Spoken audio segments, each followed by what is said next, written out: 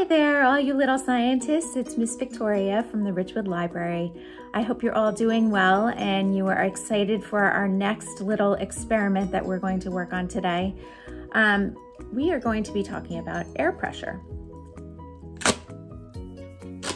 You know what this is? A party blower. We can blow into it and it causes this to unroll. This is an example of air pressure. Here is another example. Here's a balloon pump. I have a little balloon here. I'm going to put it on the pump. And blow it up. Now these are small balloons, so that one popped. Let's try another.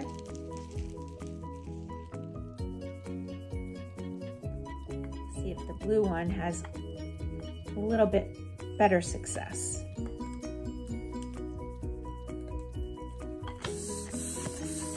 This time I won't blow it up as much. Okay. These are small balloons, so we're not gonna blow them up too much. But this is a good example, again, of air pressure. So it's important to understand that spaces are filled with air and that air can have force and move objects. So this is an example of filling a space with air. We filled our balloon with air, but we can only fill it so much because it only has a certain capacity or amount of room.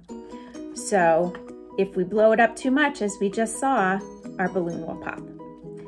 So now that I've demonstrated some examples of air pressure, let's move on to our experiment. Let's start with a definition of air pressure. The air around you has weight and it presses against everything it touches.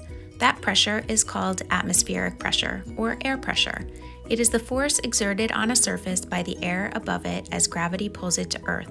The more air that is above us, the higher the air pressure will be. And now here's a description of our experiment. We are going to investigate how force and pressure relate to air pressure. You can use things from around the house to easily demonstrate this. You will be able to physically propel or move an object with just air. Here are the things you'll need. Two kitchen sponges, one drinking straw, one plastic Ziploc type bag, clear packing tape, pom-poms, toy cars, Legos, or any other items you choose. Now that we have our materials together, we're going to start by making our homemade air pump. So in order to do this, we're going to position the sponges, one on top of the other, inside the plastic Ziploc or similar type bag. Then we'll put the drinking straw between the sponges so that part of the straw is inside the bag and the other part is outside. Next, we'll seal up the bag using both the Ziploc seal and packing tape. Now I actually used two bags. I had one bag inside the other in addition to the packing tape just to make it extra secure. The first time I blew into the bag, that it actually ripped, so I decided to put it into a second bag. This is what your finished product will look like.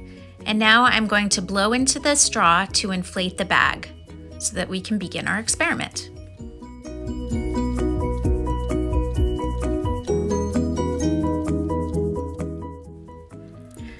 Started with the pom-pom by putting it on a flat surface and placing the bag behind it so that the straw was positioned to blow the pom-pom. Then I pressed down hard on the sponges and watched the object as it moved away. I repeated this process with our Lego piece and the toy car. And of course, you can try this with any other objects you may have around the house that you'd like to test out. So what did you notice or observe as we did this experiment? Well, if we consider our three objects, the pom-pom and the Lego piece were pretty easily moved by the air blown through our handmade air pump. The car had a little bit more difficulty, perhaps because it's heavier. If we talk about the things that we've learned so far about air pressure, we know that air pressure is, is a force, and a force is a push or pull. Another example of this is when the wind pushes a sailboat through the water, it's exerting a force. Forces can make things move, as we saw with our three objects. They can change their speed, so some objects may move faster or further than others, as we saw with the pom-pom and the Lego piece versus the car. Or they can change their shape, as we saw at the very beginning of our video when I demonstrated the party blower and the balloon being blown up. You can try this experiment on the same objects that we used or some other things that you may have around your house and see what observations you can make in addition to what we've talked about. Now to wrap up our lesson on air pressure, I wanted to share a few interesting facts with you. First, the pressure of air molecules decreases or goes down as you move upward from sea level into the atmosphere or into the air. So the highest pressure is at sea level and the lowest pressure is in the clouds or on top of a mountain. Another interesting tidbit when gravity pulls an apple, for example, toward the ground, that is demonstrating the force of air pressure. So when an apple falls off a tree onto the ground, that's actually gravity and air pressure doing their job. And last, anytime force is exerted onto a surface by air is an example of air pressure.